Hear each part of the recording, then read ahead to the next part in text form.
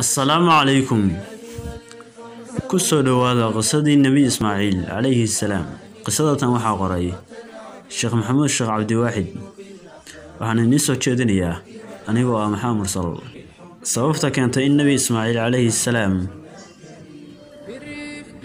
la amro in la bireeyo.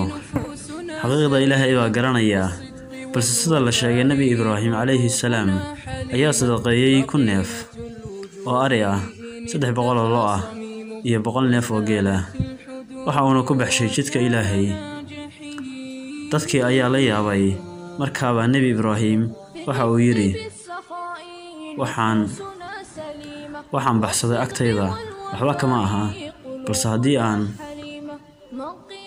balse ilaah baan ku dhaartay haddii aan haddii aan haddii uu ii dhalan lahaa wiil jidka ilaahay ayaan u birayn lahaa anigoo ugu dhowaanaya ilaahay. Markii uu sidaas yidhi nebi ibraahim wakhti badan kadib kama joogin markii uu weydiistay wakhti badan ayaa laga joogay.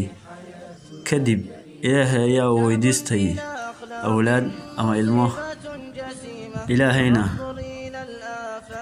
ilaahayna wuu ka aqbalay waxaana loogu bishaareeyey walad waxaana u dhashay nebi ismaaciil calayhi salaam.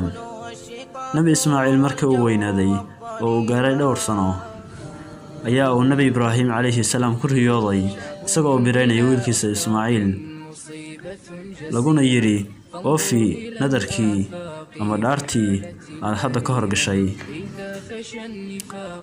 Markii uu waagu bariyey ayaa uu ku fakeray talow ma amar xag alle ka yimiba mise waa riyo shaydaan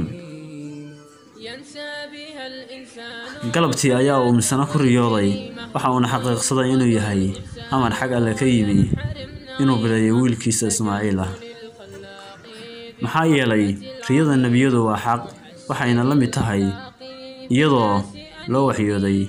Nebi ibraahim calayhi salaam waxa uu yidhi haajar oo ahayd nebi ismaaciil hooyadiis.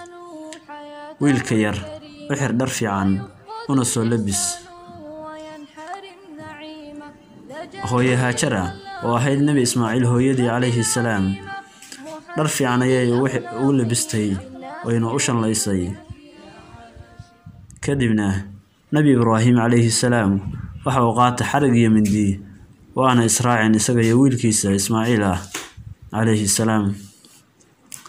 Nebi ismaaciil calayhi salaam aabbihii ayaa uu hor socday in la biraynayana ma uusan garanayn isaga iyo hooyadii midna ma aysan ogeyn.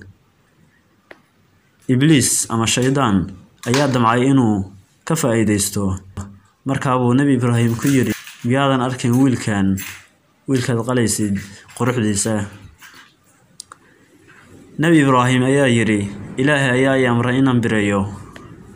Ibliis marka uu ka quustay nebi ibraahim ayaa u tegay hooyadii haajara waxa uuna ku yidhi halkan waa iska fadhidaa ibraahimna waxa uu doonayaa inuu bireeyo wiilkaaga ismaaciil ah. Haajare ayaa tidhi iga daabeenta xaggee baad ku aragtay aabba biranayo ilmihiisa. Ibliis ayaa ku yidhi sidaas darteed ayaa uu u qaatay xarig iyo mindi inuu bireeyo wiilkaaga. Haajare ayaa tidhi maxaa kalifay inuu bireeyo wiilkiisa ismaaciil ah? Ibliis ayaa ugu jawaabay waxa uu sheeganayaa inuu ku amray ilaahay haajara waxay tidhi kolley baadil ilaahay amri mayo nebi ibraahim. Markuu ibliis haajara ka quustay ayaa u tegay wiilkii yaraa ee nebi ismaaciil ahaa. Si uu u fidneeyo waxa uuna ku yidhi waad iska faraxsan tahay oo halkan ayaa iska ciyaaraysaa aabbahaana waxa uu wataa xarig iyo mindi waxa uuna doonayaa inuu ku bireeyo. Nebi ismaaciil waxa uu yidhi warbeenta iga daa maxaa aabbaha ii biraynayaa ibliis waxa uu ku yidhi waxa uu sheegayaa aabbaha inuu ilaahay ku amray inuu ku bireeyo nebi ismaaciil calayhi salaam waxa uu yidhi waan maqlayaa oo waan adeecayaa aabbahay iyo amarka ilaahay intaba.